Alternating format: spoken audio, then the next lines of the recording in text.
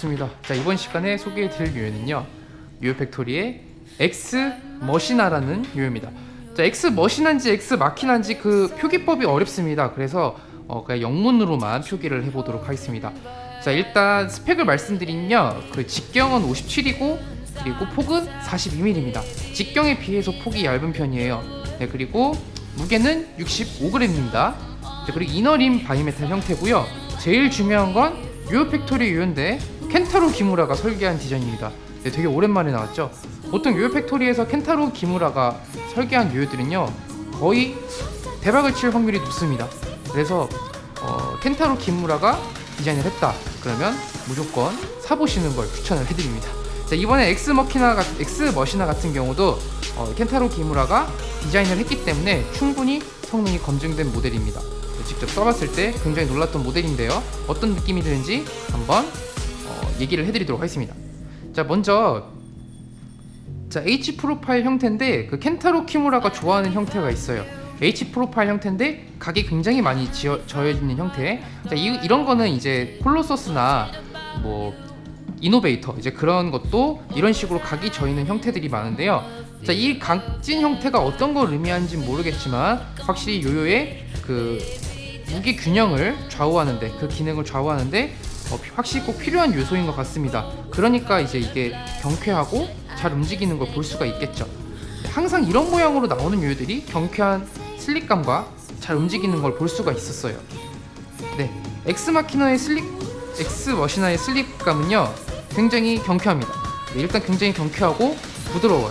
근데 확실히 이런 스펙을 가진 요요가 보통은 무겁게 느껴지기 마련인데 던졌을 때 적당한 가벼운 슬립감을 자랑을 합니다.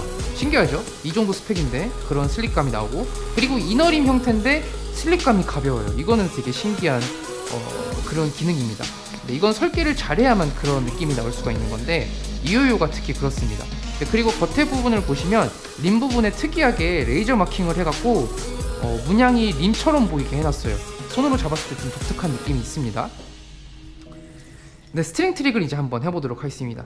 네, string trick을 했을 때 일단 요요가 가벼워요. 가볍고 어, 경쾌한 느낌이 드니까 빠릅니다. 빠르게 움직여요. 확실히 묵직한 요요는 아닙니다. 네, 빠르게 움직이는 요요고요. 네, 속도는 이제 이 정도 납니다. 이 정도 부릴 수가 있어요. 이 정도 슬립감이 나는 요요들을 요새 그 많은 플레이어들이 선호를 하는 것 같아요. 묵직한 건 아닌데 어, 요요는 크고 적당한 슬립력에 그리고 잘 움직이는 보정력. 켄타로 키무라만의 스타일이 있습니다. 이 요요도 굉장히 잘 만들어진 요요예요. 파피테이션이나 어, 요새 나오는 아이소토프 이제 그런 느낌의 요요들하고 거의 흡사한 디자인입니다. 거의 기능도 그 요요들하고 비슷해요. 그 정도로 완성, 완성도가 굉장히 높습니다. 정말 잘 만들었어요. 네, 한번 그라인드도 시도를 해보도록 하겠습니다. 네, 그라인드도 잘 버텨주고요.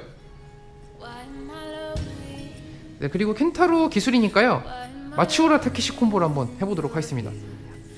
네, 마츠우라 타케시가 터닝 포인트니까 네, 한번 타케시 combo를 해보도록 하겠습니다.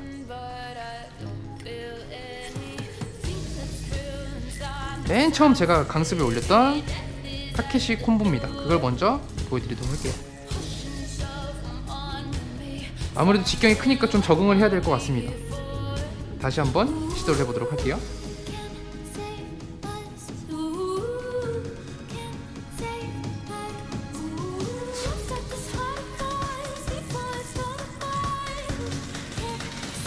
네, 들어가나요? 이번에는 들어갈 것 같습니다.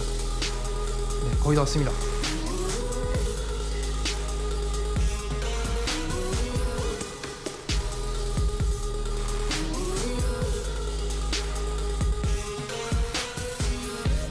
네, 아슬아슬했지만 다 들어갔습니다.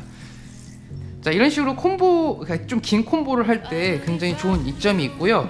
자, 일단은 설계가 굉장히 잘 된 요요고 많은 추천을 해드리고 싶습니다. 최근에 본 요요들 중에 완성도가 높았기 때문에 어, 이 요요 같은 경우는 누구나가 좋아할 것 같습니다.